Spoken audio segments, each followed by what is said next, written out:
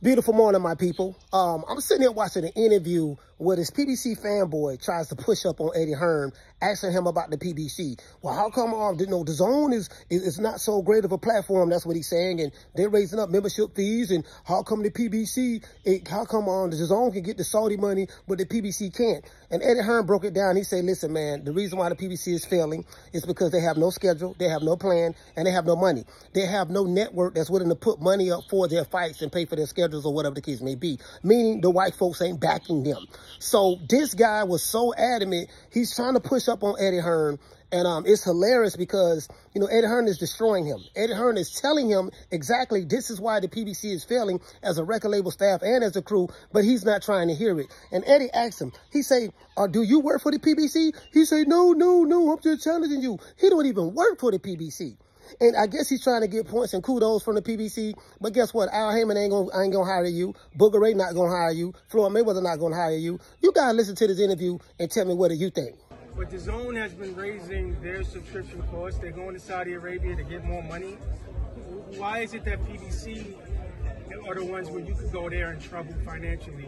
No one says that about DAZN. Because, are... because they don't have a broadcaster that is paying them money to service their fighters. Yeah, but DAZN is DAZN is raising costs. No, and no DAZN has the biggest to... budget in boxing okay. and continuously make sure so they haven't that all raised of their subscriptions at all. Yeah, of course they have. Everybody's raised their subscriptions okay. over the past couple of years. But your question is, mm -hmm. why is PBC struggling and why are DAZN not? The answer is DAZN pay a lot of money to promoters for rights fees to service their fighters and keep them active. PBC do not have a broadcaster that pay rights fees for a consistent schedule. They have a, Amazon, right? No, they have a broadcaster where they've got a couple of pay-per-views okay. that they have to take a risk on with no guarantees.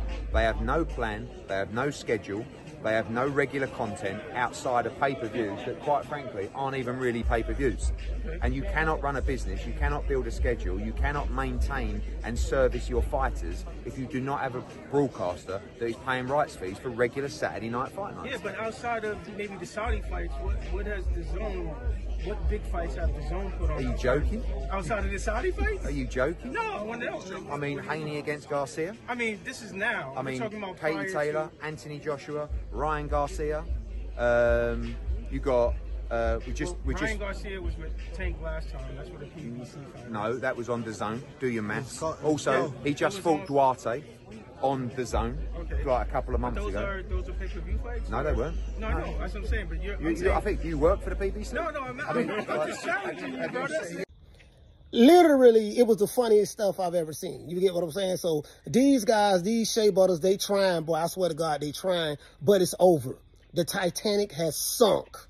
And guess what? None of you guys, you Shea Butter Laptop Revolutionaries, you know, um, you Wakanda niggas, you guys, um, you, you Haymonites, Pro PBC guys, you can't save them. See, you can, see, the, the fact of the matter is this here. If the white man don't put the money up, it doesn't go. This, this is what I've been telling y'all. So you can start all this, you know, all this hating on, you guys want to hate on other different promotional companies and stuff like that. But the, everything that you guys, everything that you Shea Butters, everything that you Haymonites ride with, go down the toilet. Everything that you alphabet boys ride with, go down the toilet. And the crazy part about it, you don't learn your lesson. You haven't learned your lesson. That's the problem. Man, I'm out of here, bro. Let's go.